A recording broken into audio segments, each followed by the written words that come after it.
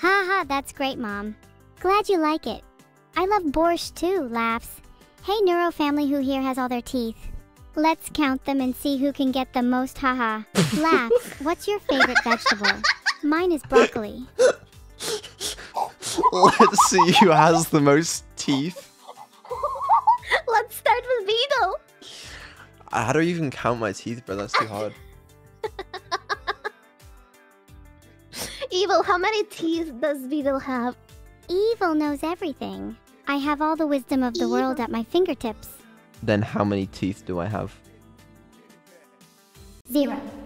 Okay. You have no teeth, Vedal. My teeth are all fine, by the way. Thank you. Well, My teeth are all fine, him, him anyway. it's true. I got none. None at all.